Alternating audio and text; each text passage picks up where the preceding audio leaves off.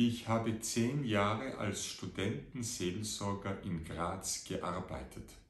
Seit drei Jahren bin ich Flüchtlingsseelsorger in Wien, aber weiterhin engagiert in der KHG Wien und zwar im Pfeilheim, wo ich regelmäßig eine heilige Messe feiere. Dabei unterstützen mich besonders die Fokusmissionare Sarah und Franja, Kevin und Clemens. Als Flüchtlingsseelsorger habe ich das Projekt LocuG begonnen. LocuG setzt sich zusammen aus Local und Refugee. Es geht um Begegnungen.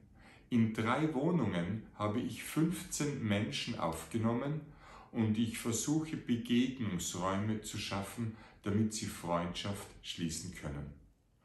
Unter denen, die in meinem Haus wohnen, gibt es auch drei, die einen negativen Asylbescheid haben.